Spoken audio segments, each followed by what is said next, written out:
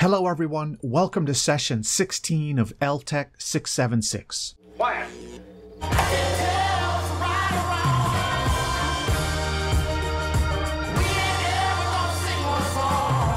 Believe it or not, we've made it to the final session of the semester. Congratulations.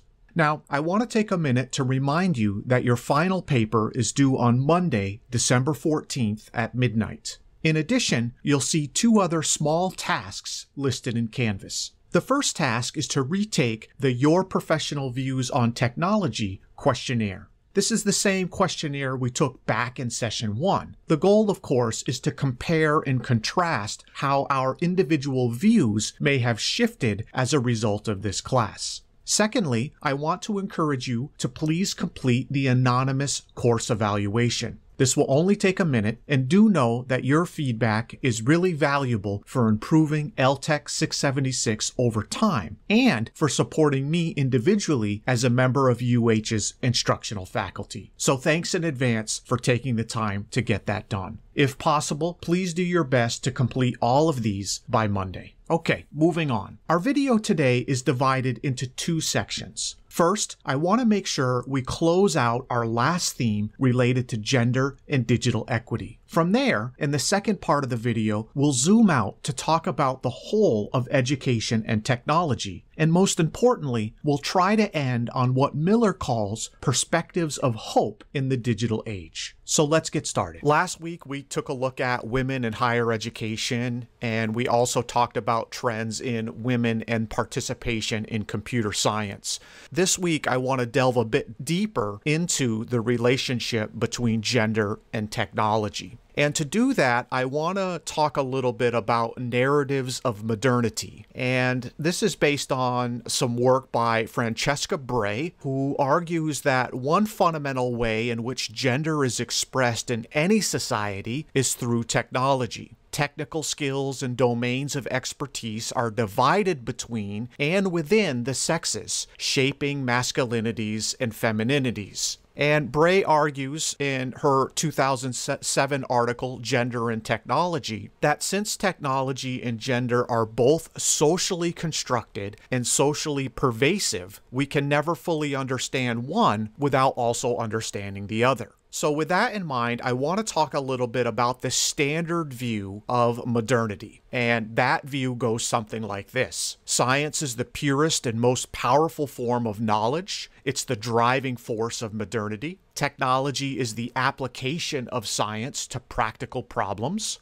Technology plays a critical role in shaping the production of scientific knowledge. Studies of technology in the past were largely gender blind and they focused on modern industrial and military technologies and reflected the social realities of the male dominated engineering and business worlds. So that's kind of the standard view of modernity as summarized by Francesca Bray. Now, let's talk a little bit about feminist critiques of that standard view of modernity. So, first, feminist critiques condemned technology as intrinsically oppressive of women. Such critiques noted that the standard view perpetuated stereotypes of women as inherently nurturing. These critiques also asked why and how modern Western technology had become a male domain. These critiques were also concerned about divisions of labor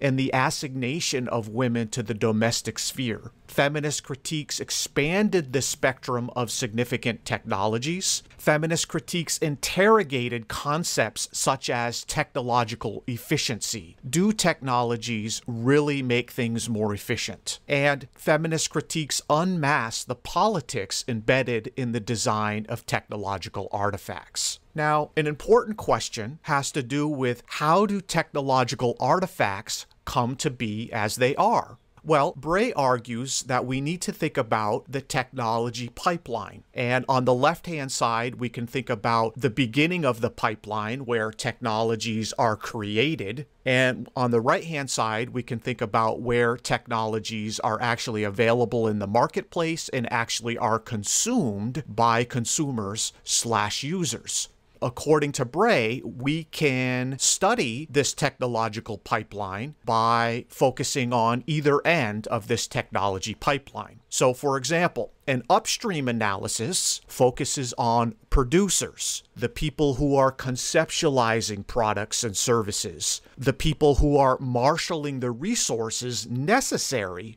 to conceptualize and ultimately create those products and services as well as the people who decide on the design, the production, and the marketing of various technologies. All of that is what Bray calls an upstream analysis. Now, in contrast, we can also have a downstream analysis. Now, downstream analyses focus on consumers, and this involves viewing consumers as users or even refusers of certain technologies. Downstream analyses view consumers as engaging with the physical as well as the symbolic dimensions of technology. And it recognizes that consumers can produce meaning and reproduce power relations based on their choices an important concept to emerge out of gender and technology studies related to the technology pipeline is this idea of the consumption junction.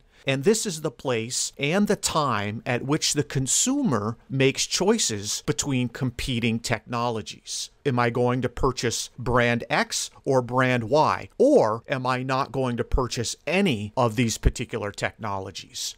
And then another important concept to come out of gender and technology studies is this idea of interpretive flexibility. The idea that there can be divergent interpretations of form, use, or meaning of a particular technological objects or of its uses and users. Now, I want to shift gears a little bit to talk about claiming technology for democracy and social justice. So let's zoom out and away from our five themes and just focus on education and technology. Now, Miller gives us a message of hope, and she argues that new digital technologies can change the balance of power and extend voice to silent populations. Just as quickly as technology can extend democratic opportunities, however, it can also silence groups and contribute to marginalization or oppression. She believes that with the ever increasing use of digital technologies in schools, it is increasingly important to develop a deliberate frame for technology integration based on empowerment and democratic principles. Framing technology as a means for empowerment and democracy is counter to the traditional uses of technology in schools. So, what are the traditional uses of technology in schools? Well, Miller includes a quote from Blikstein, who argues that the traditional use of technology in schools contains its own hidden curriculum. It surreptitiously fosters students who are consumers of software and not constructors.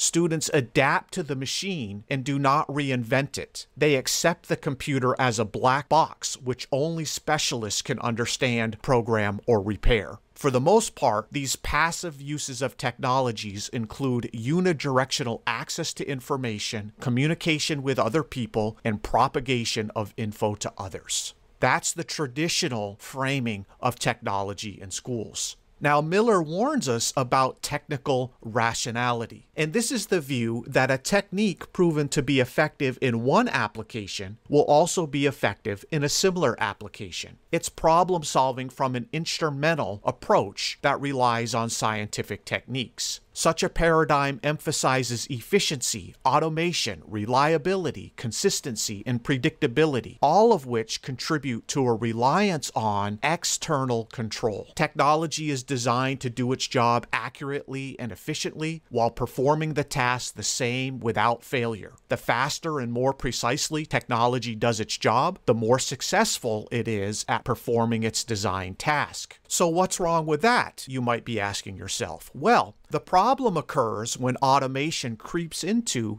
daily life and leads to the automation of thought processes, human interactions, and behavior. The technical nature of technology contributes to the assumption that technological tools are neutral and free from political constructs. And much of technology is designed for reasons related to capitalism, such as selling merchandise, advertising, or collecting data and information about target audiences.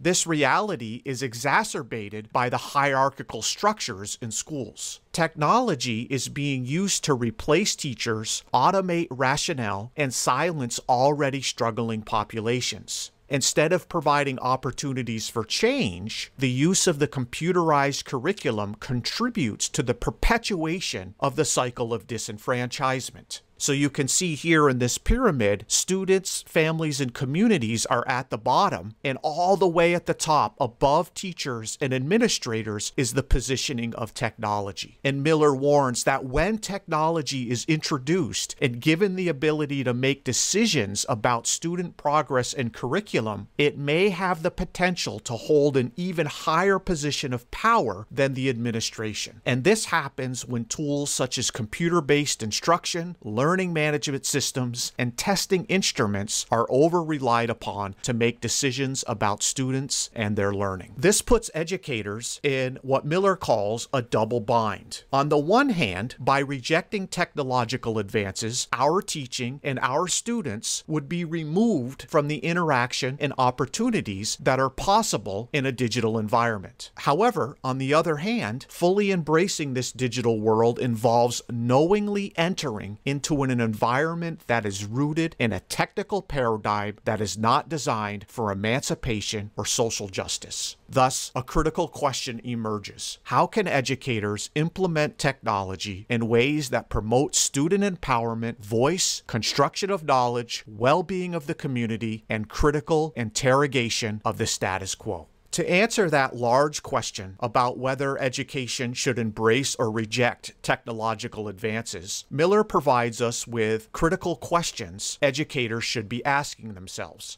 And these critical questions fall into three distinct areas. The first area has to do with dialogue and voice. And the purpose of these questions is to investigate the role that technology plays in the dialogic interactions among participants. Some guiding questions include how does this technological tool influence student voice? How can this tool be used to support the construction and development of students' own ideas and knowledge? The second category of critical questions has to do with classroom community. The purpose of these guiding questions is to interrogate the position and power that technological tools play in the larger classroom community. Sample guiding questions include what is the role of technology in the classroom community? And what power does the technology have in the community structure? The third category of critical questions for educators has to do with emancipatory knowledge. The purpose of these critical questions is to investigate the type of knowledge that's created and the role that technology plays in the creation of that knowledge. And guiding questions include what types of knowledge are being implemented or created and what level of criticality is employed when those technologies are used and how is the technology being used to further critical knowledge.